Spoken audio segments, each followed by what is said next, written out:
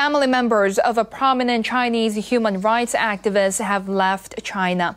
Officials allowed the mother and brother of Chen Guangcheng to visit him in the United States.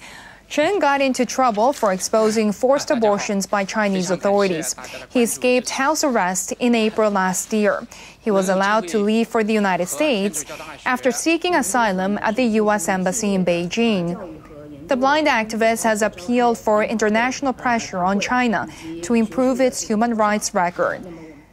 Chen's mother and brother flew to New York on Wednesday. Authorities in China initially did not accept their passport applications, but officials reversed the decision and issued their travel documents in June. Chen's relatives have reportedly suffered repeated harassment since his departure. U.S. officials have conveyed their concerns to the Chinese government.